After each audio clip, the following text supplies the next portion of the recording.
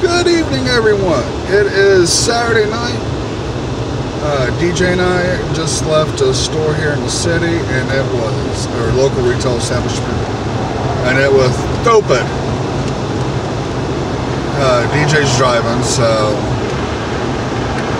I'm just going to kick back and do this right quick. So, uh, kids had rehearsal for their musical today. Uh, went pretty good. Uh,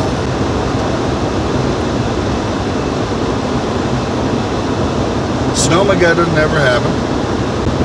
It is bone dry, not even a dusting on the ground.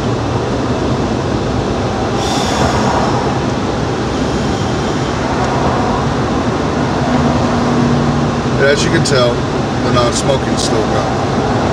Uh, DJ's actually waiting on a reply from someone on Facebook Marketplace about their about a futon they found, and they said, "Oh, we've been getting a running around run around from this guy from someone, so we don't know." And DJ's told him, "Oh, I've got money. I got cash in hand."